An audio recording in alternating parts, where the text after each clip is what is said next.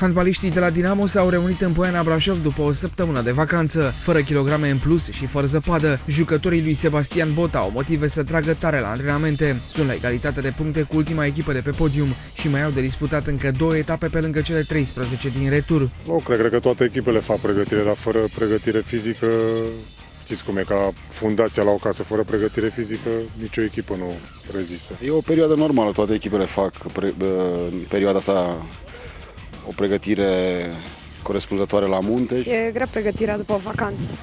E, e un pic.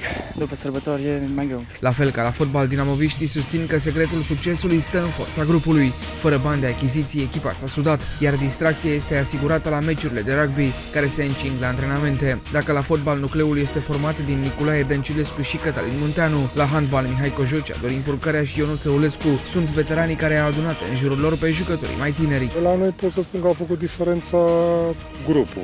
Eu pot să spun că avem un grup foarte unit, nu avem uh, jucători care să spun că poate să de valoare mare care poate să rezolve un meci, sigur spun că grupul. Ne-am mobilizat foarte bine, într-adevăr, toată lumea ne dădea undeva pe locurile 9-14, dar uh, pregătirea de vară s-a văzut, uh, nu a rămas un nucleu de jucători. Ce a făcut diferența între voi și celelalte echipe de ați reușit performanța asta bună până acum? Eu zic că munca, dăruirea și spiritul de echipă. Suntem o familie și sper să rămânem așa.